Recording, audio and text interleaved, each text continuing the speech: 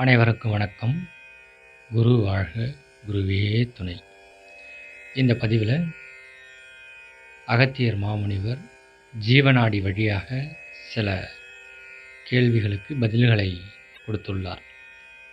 அந்த வரிசையில் இன்று ஒரு கேள்வி கேட்டிருக்காங்க. அது என்னன்னு பார்க்கலாம். தேர் இழுத்தலை பற்றி ஒரு கேள்வி. இப்போது தமிழ்நாட்டில் எல்லா கோவில்களையும் தேர் இழுக்கக்கூடிய வழக்கம் மிக விமர்சையாக நடக்கக்கூடிய ஒரு திருவிழா. அதில் பார்த்தீங்கன்னாக்கா அகத்திய பெருமான் என்ன சொல்கிறாருனாக்கா ஒரு தேரை வைத்து அதனுள் சுவாமியை வைத்து இழுப்பது என்று சுட்டி காட்டினால் அந்த தேர் இழுப்பதையே பெருமையாக வைத்துக்கொண்டு இதிலும் கலவரத்தை வளர்த்து கொண்டு வாழ்கின்ற மனித கூட்டத்திற்கு எதனை கூறுவது?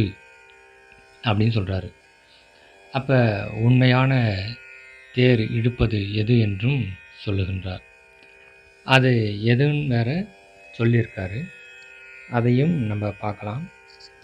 இந்த தேரானது நமது உடலிலே உள்ள சக்கரங்களை தான் குறிக்கக்கூடியது தேர் என்ன பண்ணும்? அந்த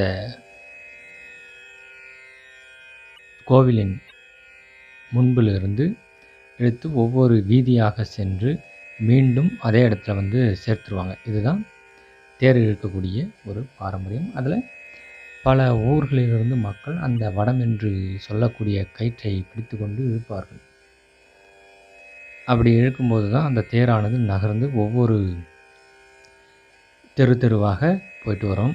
அதே மாதிரி தான் நமது உடம்பிலும் இந்த சக்கரங்கள் என்று சொல்லக்கூடிய பகுதியிலே மூலாதாரம் சுவாதிஷ்டானம் மணிப்புரகம் அநாகதா விஷுத்தி ஆக்னா சகஸ்கரா. இப்படி இந்த குண்டலினி சக்தியை ஒவ்வொரு ஆதார சக்கரங்களாக நாம் எண்ணங்களாக எண்ணங்களை துணையை கொண்டு அந்த மூச்சு ஓட்டத்தை அங்கே கவனத்தை செலுத்தும் பொழுது அந்த சக்தியானது ஒவ்வொரு மையமாகவும் சென்று அதனை தூய்மைப்படுத்திவிட்டு மேலேறுகின்ற ஒரு பயிற்சி முறைதான் இந்த தேர் இழுக்கும் ஒரு திருவிழாக அவர்கள் சுட்டி காட்டினர் உள்ளே அந்த தெய்வத்தை உள்ளே வைத்து வந்- வைத்துவிட்டு அது தெரு தெருவாக இழுப்பது என்பது உடலிலே உள்ள இறை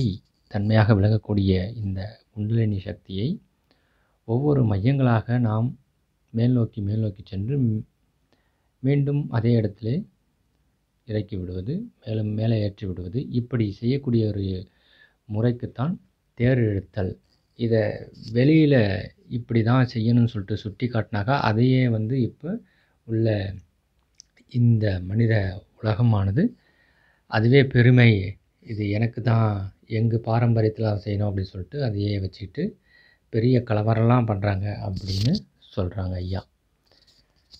நன்றி. மீண்டும் அடுத்த பதிவிலே வேறொரு பார்க்கலாம். வாழ்க வளமுடன்.